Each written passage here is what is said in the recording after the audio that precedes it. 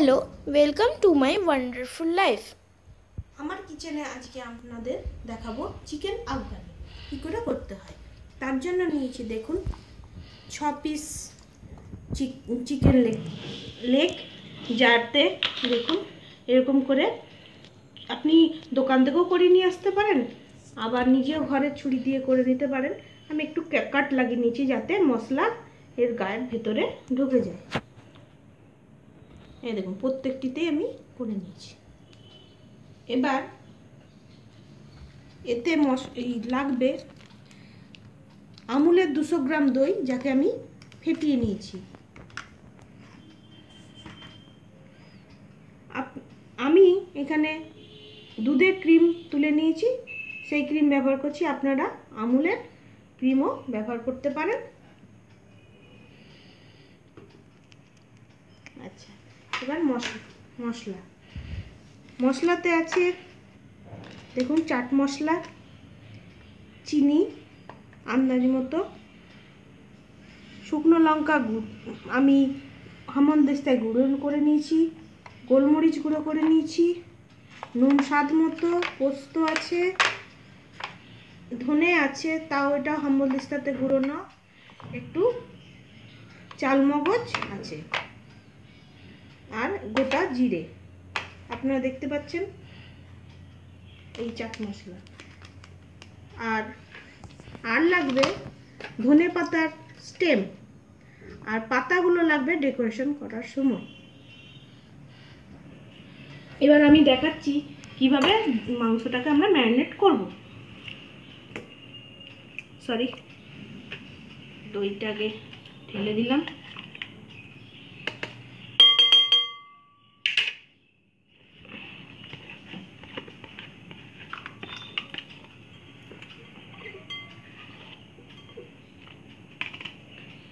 তাতে ক্রিমটা ঢেলে দিলাম।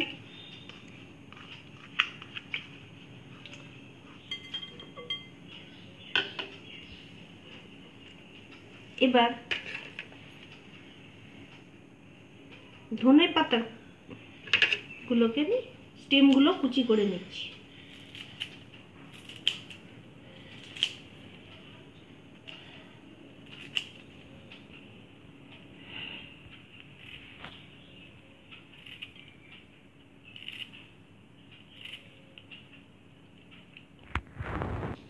এবার আমি দেখুন ধনে পাতা আর দই আর ক্রিম ফেটিয়ে নিলাম। দই আমার ফেটানোই ছিল, তা তবু আরেকবার আমি ফেটিয়ে নিলাম। এরপর আমার যা মশলা আছে, সব এতে দিয়ে দিচ্ছি।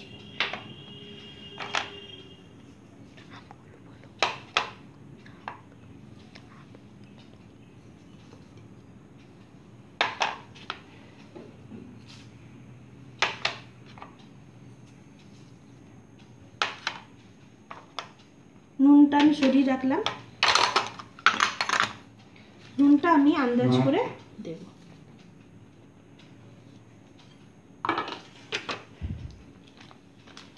প্রথমে আমি চাট মশলা দিয়ে নিচ্ছি। দেখুন আমি একটা এক চামচ চাট মশলা দিলাম।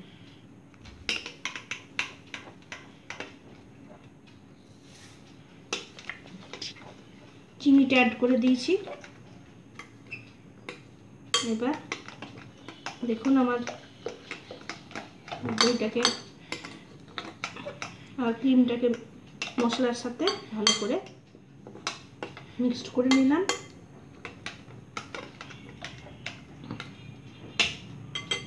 এবার আমি নুনটা আস্তে আস্তে দেব। আমি একটু নুন রেখে দিলাম। প্রথমে আমি এই নুনটা দিয়ে আপনারা নুনটা আন্দাজ মতো আপনাদের দেবেন। আমি আমার আন্দাজ করে নুন দিচ্ছি। এবার চিকেনগুলো আস্তে আস্তে দিয়ে দেব।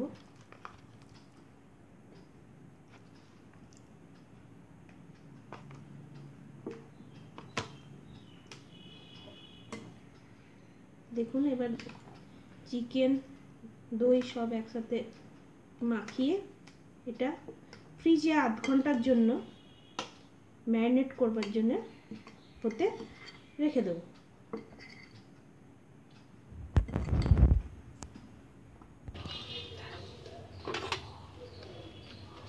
এবার আমি ম্যারিনেট, দেখুন মাংস ম্যারিনেট হয়ে গেছে আমার। এবার আমি এটাকে রান্নাঘরে নিয়ে চলে এসেছি। এবার গ্যাস জ্বালিয়ে দিলাম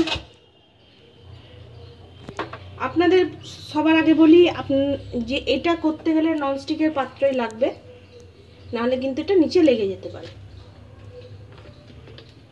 আমি এই দেখুন অলিভ অয়েল দিচ্ছি। অলিভ অয়েল বেশি লাগবে না, একটু দিলাম।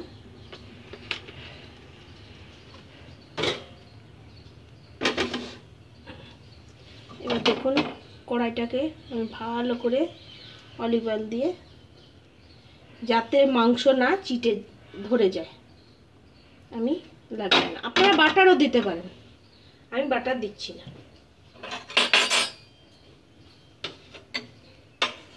অলিভ অয়েল গরম হওয়ার কোনো প্রয়োজন নেই। এবার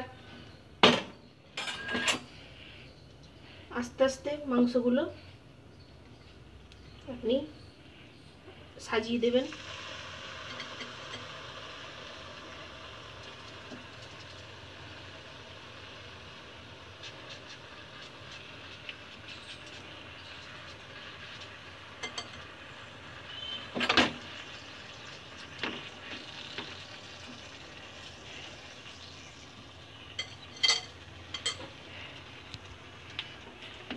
দেখতে পেয়েছেন, মাংসগুলো আমি সাজিয়ে দিয়েছি। এবার আমার যে গ্রেভিটা আছে, আমি দিয়ে দিচ্ছি।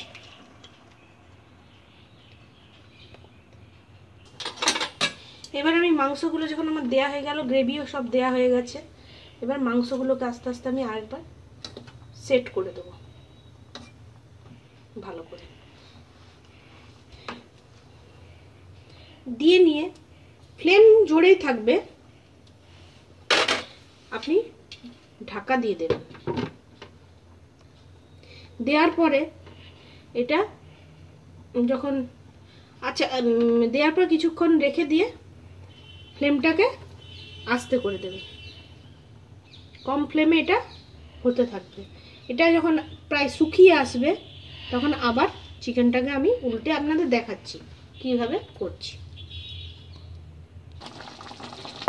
দেখুন, চিকেনগুলোর এক পিঠটা হয়ে এসছে। আমি চিকেনগুলোকে আস্তে আস্তে উল্টে দিচ্ছি।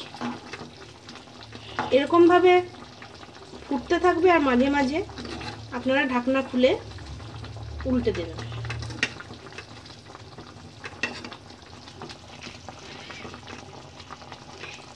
এইরকমভাবে এটা একদম শুকনো হবে। সব গ্রেভিটার মধ্যে চিকেনে ঢুকে যাবে আবার ঢাকা দিয়ে দেবেন এ দেখুন, আমাদের জল শুকিয়ে গেছে। হুম, এবার ফ্লেম বাড়িয়ে দেবো। একদম এটা ড্রাই হয়ে যাবে। এখন সময় আছে এখনও হবে। তবু আপনাদের একবার দেখাচ্ছি কেমন হচ্ছে। দেখুন, কি ইয়াম্মি দেখতে লাগছে।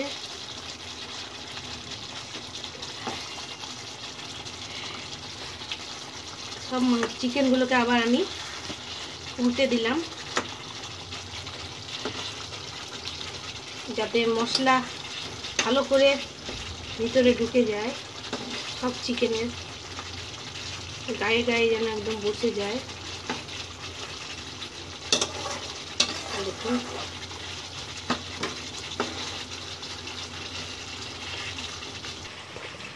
দেখুন আমার চিকেন তেল ছেড়ে দিয়েছে। একদম গায়ে গায়ে দেখুন, গ্রেভি লেগে গেছে। এরপর আমার যে ধনে পাতা আমি রেখেছিলাম, পাতাগুলো, সেগুলো আমি কুচি করে নিয়েছি। এবার এর উপরে সাজি, ছড়িয়ে দিচ্ছি।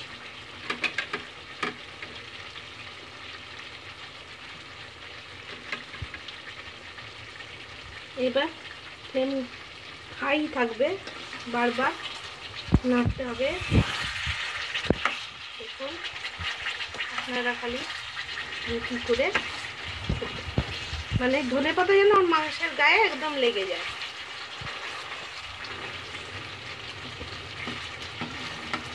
দেখুন।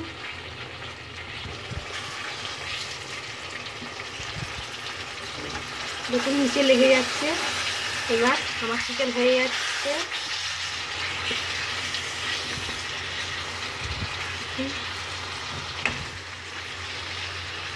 দেখুন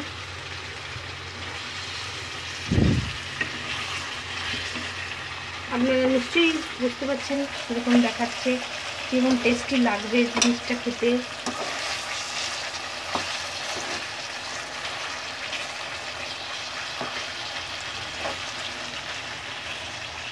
এবার আমি গ্যাস অফ করে আপনাদের সার্ভ করে দেখাচ্ছি।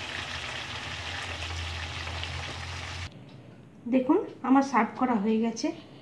আমার চিকেনের গায়ে একদম মশলাটা লেগে গেছে। কি? আপ- আপনারা তো দেখতে পাচ্ছেন নিশ্চয়ই, আমার তো খুব সুন্দর লাগছে।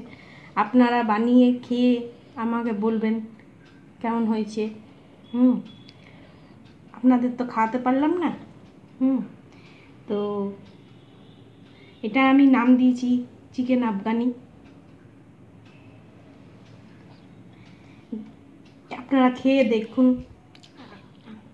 লাইক করুন শেয়ার করুন কমেন্টস দিন। সাবস্ক্রাইব করবেন বেল আইকনটা চিপবেন। আপনি যদি সাবস্ক্রাইব আর বেল আইকনটা চিপবেন, তাহলে আমি যেই ভিডিওটা দেব, সেই ভিডিওটা আপনি প্রথমেই দেখতে পাবেন। আর আপনি খেয়ে, বানিয়ে খেয়ে দেখুন, যদি ভালো লাগে, তো প্লিজ সাবস্ক্রাইব করবেন আর বেল আইকনটা চিপবেন। Thank you bye bye